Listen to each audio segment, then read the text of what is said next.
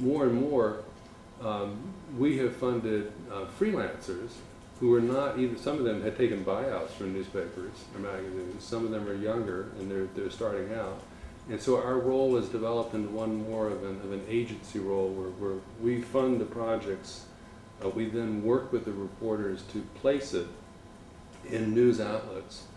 Um, and then we, then we do as much after marketing to, to kind of keep it in discussion uh, as long as possible, um, so that the story just doesn't, you know, run once in, in a newspaper or on, on broadcast and then, and then disappear.